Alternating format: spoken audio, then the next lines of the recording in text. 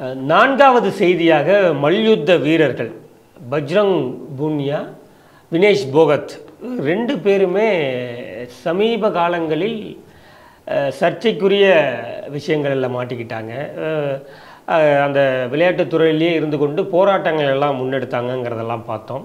அதில் உள்ள நியாய தர்மத்தை பற்றி நம்ம பேச வேண்டாம் சார். அவங்க போராட்டங்கள் எல்லாம் முன்னெடுத்தாங்க. அதன் பிறகு என்ன நடந்ததுங்கிறதெல்லாம் நம்ம தொடர்ச்சியாக பார்த்தோம். குற்றச்சாட்டுகள் எல்லாம் வச்சுருந்தாங்க. இப்போ அவர்கள் இருவரும் என்ன பண்ணியிருக்காங்கன்னா காங்கிரஸில் போய் தங்களை இணைச்சிக்கிட்டாங்க.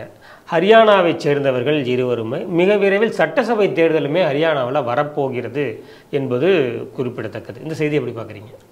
நமக்கு ஆச்சரியம் கொடுக்கல. அந்த போராட்டம் தொடங்கிய பொழுதே நாம் சொன்னது தான் எப்படி விவசாய போராட்டம்ங்கிற போர்வையில் விவசாய புரோக்கர்களுக்கு நம்ம எப்போவுமே வந்து அது விவசாய போராட்டம்னு சொன்னதில்லை. அது சிலருக்கு கூட வருத்தம் கொடுத்துருக்கலாம். விவசாய புரோக்கர்கள் போராட்டம் அப்படின்னு. அந்த புரோ அதாவது விவசாயியால் எத்தனை நாள் போராட்டம் முடியும்? அதை ஒரு இதுக்காக சொல்லலை. அவனால் முடியாது கஷ்டப்படுறவன் அடுத்து அவன் பொழப்பை பார்க்கணுமே அப்படின்னு. இப்பொழுது நம்ம கா பிஜேபியிலிருந்து இப்பொழுது கவர்னராக இருக்கிறார். அப்பொழுது காங்கிரஸ் முதல்வராக இருந்த கேப்டன் அமரீந்தர் சிங். அவர் இருக்கும் பொழுதே இந்த விவசாய போராட்டம் நடந்தது. அவர் ஒரு நேரத்தில் என்ன சொன்னார்? ரைட்டுங்க இப்பொழுது வந்து ஹார்வெஸ்டிங் டே ஹார்வெஸ்டிங் மந்த் இது. இப்போ நீங்கள் வந்து அந்த ஹார்வெஸ்டிங்கில் ஈடுபடாமல் இங்கே உட்காந்து போராட்டம் பண்ணிங்கன்னா கோதுமையுடைய தேவை நமக்கு அதிகமாக இருக்குது விளைச்சல் அதை அறுவடை பண்ணணும். எக்ஸ்போர்ட் பண்ணக்கூடிய அளவுக்கு கூட இங்கே சில நேரங்களில் இருக்கும். அதை முதல்ல செஞ்சுட்டாவது வந்து போராடுங்க அப்படின்னு அவர் சொன்னார். அப்படின்னா என்ன அர்த்தம்னா ஒரு விவசாயியாக இருந்தான்னு வச்சுங்க ஐயோ நமக்கு கொஞ்சம் கொஞ்சம் டோக்கனைசத்துக்காக ரெண்டு போராட்டம் பண்ணிட்டு நம்ம போய் அறுப்பை பார்ப்போம்டா அப்படின்னு கிளம்புவான். அது கூட போகாமல் அங்கேயே உட்காந்துக்கிட்டு மசாஜ் இதெல்லாம் வச்சுட்டு உடனே அவங்க அப்பயே கேட்டாங்க ஓ விவசாயி வந்து பிஎம்டபிள்யூவில் வரக்கூடாதா? எப்படி? விவசாயி பிஎம்டபிள்யூவில் வருவாங்க ஏசி அந்த டென்ட்டு போட்டிருக்கக்கூடாதா அப்படின்னு. நம்ம அப்பொழுதே சொன்னது இவர்கள் விவசாயிகள் அல்ல விவசாய புரோக்கர்கள் அப்படின்னு. அதே போன்று தான் இங்கே மல்யுத்தம் இருந்தது அவங்களுக்கு ஒரு சில நியாயமான கோரிக்கைகள் இருந்திருக்கலாம். ஆனால் அவர்களுடைய கோரிக்கை வச்சதே வந்து அது வந்து நீங்கள் மீட் அவுட் பண்ண முடியாத பல கோரிக்கைகள்லாம் வச்சாங்க. சரி அவர் மீது விசாரணை பண்ணணும். பண்ணலாம். எஃப்ஐஆர் பதிவு பண்ணணும். எஃப்ஐஆரும் பதிவு பண்ணியாச்சு. ஆனாலும் நீங்கள் அந்த போராட்டத்தை விட்டு போகலை அப்படின்னா என்ன அர்த்தம்? அப்படின்னா அந்த போராட்டம் நடக்கும் பொழுது ராகேஷ் திக்காயத் போன்றவர்கள் வந்து அந்த ராகேஷ் திக்காயத் தான் விவசாய போராட்டத்திலையும் முன்னின்று நடந்தவர். என்னென்னா இவர்கள் ஒரு குறிப்பிட்ட பெல்ட்டில் இருக்கக்கூடியவங்க ஹரியானாவில் ஒரு இது. குறிப்பாக அங்கே வந்து இருக்கக்கூடிய ஒரு வாரியர் கம்யூனிட்டியை சேர்ந்தவர்கள் அவங்களுக்கு ஒரு சங்க் ஆஃப் ஓட் அங்கே இருக்குது. ஜாட் கம்யூனிட்டி அவங்களுக்கு இருக்குது. அதற்கு இன்னொரு கம்யூனிட்டி சார்ந்தவர் தான் பிரிட்ஜ் பூஷன் அவருக்கும் உத்தரப்பிரதேசத்தில் அவருக்கும் செல்வாக்கான பல பகுதிகள் இருக்குது இதில் நாம் ஒரே ஒரு விஷயத்தை மட்டும் நம்ம யோசித்து பார்க்கணும். என்னென்னா இவ்வளவு பல நாட்கள் இந்த போராட்டம் நடந்தது. ஆனால் இந்த போராட்டத்தினுடைய பின்னணியை அறிஞ்சதுனாலோ என்னவோ மோடி சரி பா நீ இப்போதைக்கு ரிசைன் பண்ணு. உன்னை வேணாலும் அரெஸ்ட் பண்ணுவாங்க.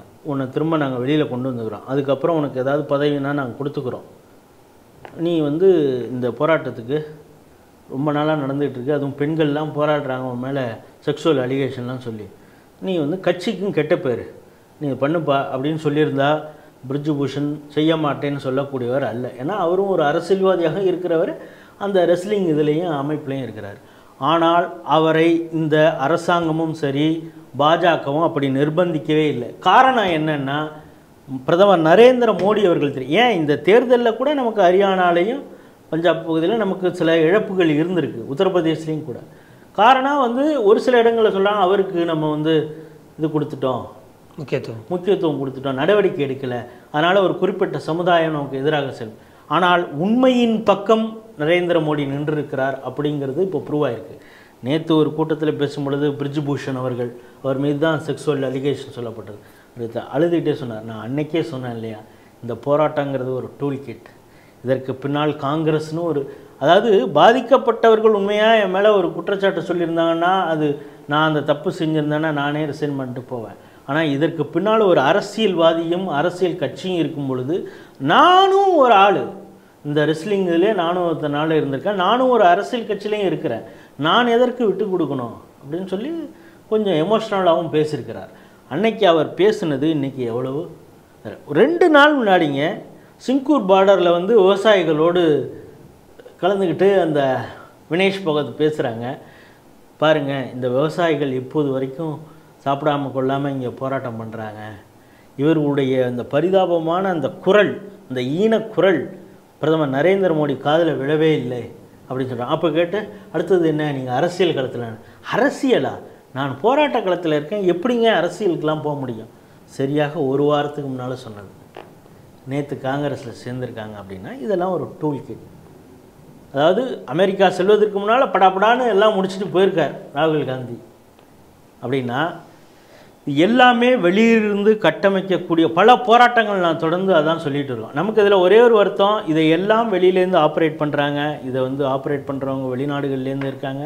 அதற்கு கையாளாக இங்கே இருக்கக்கூடிய அரசியல் கட்சிகள் செயல்படுகிறதுங்கிற ஒரு உண்மையை கங்கனா ரணாவத் சொன்னால் அது எலெக்ஷனுக்கு பாதிப்பு அடைஞ்சிரும் நான் என்ன சொல்கிறேன் ஒரு எலெக்ஷன் நடக்கும் பொழுது மிகப்பெரிய போராட்டங்களை பிரிஜ்பூஷன் மூலம் அவருக்கு எதிராக நடத்த பொழுது ரொம்ப அவருக்கு ஆணித்தரமாக ஒரு உறுதியாக அவருக்கு ஆதரவாக இருந்த அரசியல் கட்சி இப்போ அவங்க எம்பி ஆயிட்டாங்க கங்கனா ரணாவத். அவங்க ஒரு உண்மையான விஷயத்தை சொல்கிறாங்க இப்போ நடக்கக்கூடிய ஹரியானா எலெக்ஷனில் அது பாதிப்பு அடைஞ்சிரும் ஒரு சமுதாயம் அவருக்கு எதிராக திரும்பிடும் அப்படிங்கிறதுக்காக நீங்கள் அந்த உண்மையை இப்போ சொல்லாதீங்கன்னு அதே பாஜக சொல்கிறது நமக்கு சற்று விந்தையாக இருக்கிறது. இருந்தாலும் இந்த இது வந்து ஒரு டூல் கிட் இந்த டூல் கிட்டில் இவங்களெல்லாம் பயணம் செய்தார்கள். அதற்கு பின்னால் இருக்கக்கூடிய அரசியல் எல்லாம் தெரியும் இந்த டூல் கிட்டை இருந்து நடத்தியது காங்கிரஸ் தான் அப்படிங்கிறத இப்போ ரொம்ப வெட்ட வெளிச்சமாக இருக்கிறது. இவங்க ஏதாவது உச்சநீதிமன்றத்திலேயோ ஏதாவது ஒரு நீதிமன்றத்தில் ஒரு நியாயமான தீர்ப்பு சொல்லியிருப்பார் ஒரு ஜட்ஜு. பிறகு அவருடைய அறிவு கூர்மையினாலோ இல்லை அவர் இவ்வளவு நாள் நீதி துறைக்கு செய்த பங்களிப்பை பாராட்டி அவருக்கு ஒரு ராஜ்யசபாவோ ஏதோ ஒன்று கொடுத்துட்டாங்கன்னு வச்சுங்க பிஜேபி. இவருடைய தீர்ப்பு அதற்கு வழங்கிய சன்மானம் பாஜக பார்த்தீர்களா அப்படின்னு இதே காங்கிரஸ் பல முறை சொல்லியிருக்குது. இப்போ பல நாட்கள் இவங்க போராட்டம் இப்பொழுது காங்கிரஸில் இவங்க சேர்ந்திருக்காங்க. அப்போனா இந்த ஸ்போர்ட்ஸ் விளையாட்டுத்துறை என்பதை உங்களுடைய அரசியலுக்கு தான் நீங்கள் பயன்படுத்தினீர்கள்ங்கிற குற்றச்சாட்டு நாம் ஏன் காங்கிரஸ் மீது வைக்கக்கூடாது? அதுதானே இது காட்டுது. ஆகவே இது போன்ற இன்னும் பல துறைகளிலே பிரச்சனைகள் வரலாம். இப்போ நேற்று நான் சொல்லிட்டு இருக்கும்போதே ஒரு இப்படிதான் ஒன்று மனசில் ஞாபகம் வருது.